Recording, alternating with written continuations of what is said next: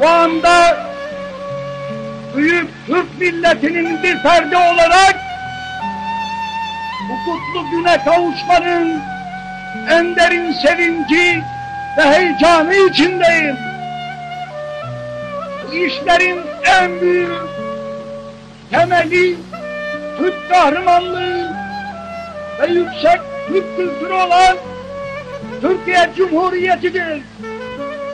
Çünkü Türk milletinin karakteri yüksektir. Türk milleti çalışkandır.